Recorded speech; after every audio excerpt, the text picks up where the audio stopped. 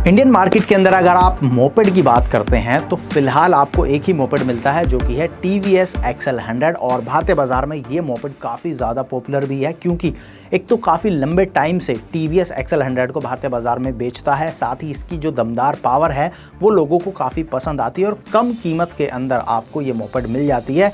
काफ़ी सारे लोग इस मोपेड को कमर्शियल पर्पज़ के लिए यूज़ करते हैं और काफ़ी सारे लोग इस मोपेड को पर्सनल यूज़ में भी यूज़ करते हैं। लेकिन अब क्योंकि ईवी का ज़माना आ चुका है इलेक्ट्रिक व्हीकल्स की भरमार होती जा रही है। हर एक कंपनी इलेक्ट्रिक व्हीकल की तरफ़ जा रही है। टीवीएस भी ऑलरेडी आई क्यूब जैसा इलेक्ट्रिक स्कूटर भारतीय बाज़ार में बेच रहा है।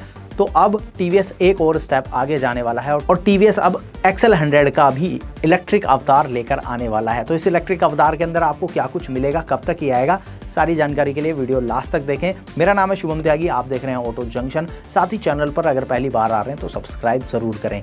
बात करें T V S XL hundred के इलेक्ट्रिक अवतार की तो हाल ही में TVS का एक पैटेंट लीक हुआ है, जहाँ पर एक्स एल हंड्रेड वाला body design electric vehicle form में देखने को मिला है। यानी कि जो डिज़ाइन और लुक्स हैं, वो आपको सेम एक्सएल हंड्रेड वाले ही देखने को मिलेंगे।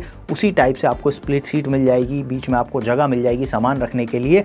लेकिन यहाँ पर अब आपको इंजन की जगह पर देखने को मिलेगी बैटरी जिसके साथ में ये जो है, वो इलेक्ट्रिक फॉर्म में चेंज हो जाएगा।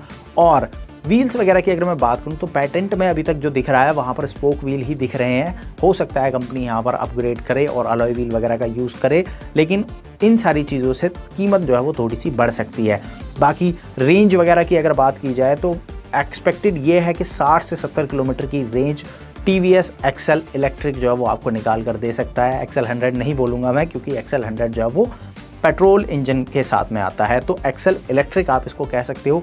हालाँकि अभी इसका क्या नाम होगा कब तक इसको लॉन्च किया जाएगा इसके बारे में कोई भी डिटेल देखने को नहीं मिली है। लेकिन अगर आप टीवीएस का आ, 2023 का लॉन्च देखते हो तो अभी टीवीएस ने हाल फ़िलहाल कोई भी बड़ा लॉन्च इवेंट नहीं रखा है बहुत कोई बड़ा व्हीकल लॉन्च नहीं किया है। और फेस्टिवल सीज़न के आसपास माना जा रहा है कि टीवीएस दो से तीन प्रोडक्ट जो है वो लॉन्च करेगा भारतीय बाज़ार में जिसमें कि एक TVS का एक्सेल इलेक्ट्रिक भी हो सकता है। तो अगर आप एक इलेक्ट्रिक व्हीकल लेना चाहते हैं या फिर आप एक मोपेड लेना चाहते हैं टी वी एक्सेल हंड्रेड लेना चाहते हैं, लेकिन आपको बहुत कम चलना होता है या फिर आप इलेक्ट्रिक व्हीकल में स्विच करना चाहते हैं तो थोड़ा वेट करें। हो सकता है कि टी वी एक्सेल हंड्रेड का इलेक्ट्रिक अवतार आपको ज़्यादा पसंद आए, ज़्यादा आपकी बचत कराए तो थोड़ा सा आप वेट कीजिए। बाकी आप मुझे कमेंट करके बताइएगा कि टी वी एक्सेल हंड्रेड का इलेक्ट्रिक अवतार क्या टी वी एक्सेल हंड्रेड वाली ऊंचाइयों को छू पाएगा या नहीं। बाकी वीडियो कैसा लगा, ये भी कमेंट कीजिएगा। पसंद आया तो लाइक कीजिएगा और ऑटो जंक्शन पर पहली बार आ रहे हैं तो सब्सक्राइब करें नोटिफिकेशन बेल को ऑन करें। इस वीडियो को यहीं पर एंड करते हैं। जल्दी मिलेंगे एक नई वीडियो के साथ में।